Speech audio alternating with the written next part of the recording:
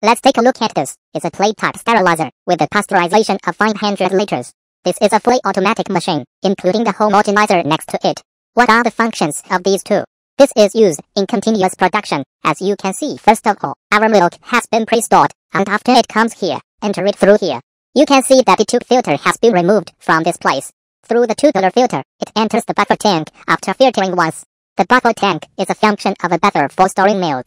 After a certain amount of milk is stored in it before the operation, just to ensure continuous production, this milk comes in first, and you can see that there is one here the material is out and the water is in. Then here, you can enter the material from here, try to contact us through this side. Here is the material intake. Here is a breast pump that we see from here. This is a material intake. Material intake. In the first section, you can enter the cooling section. The first is to enter this section, which is a preheat section. The preheating section is to perform a heat exchange with the milk that has been sterilized just now. Preheat it to 55 degrees first, and after 55 degrees, when everyone sees the homogenization here, it is preheated to 50 degrees. Finally, follow this tube to our homogenizer. This tube, as you can see, is connected to this homogenizer.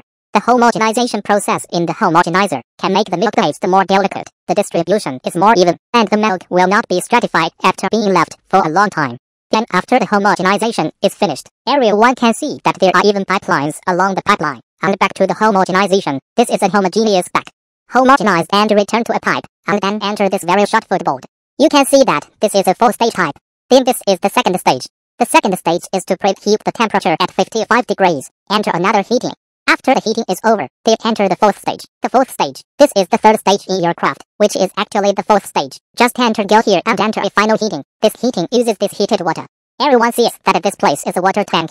Under the water tank, you can see that there is a heating tube, and a heating tube underneath the water to heat the water to 85 degrees a higher temperature, then this water is the milk that has been homogenized with our milk when it enters this place, and the milk that has been preheated is here and is heated in the middle, and it is heated to 85 degrees. After heating to 85 degrees, after our milk comes out, everyone can see that the 85 degrees milk goes up the tube.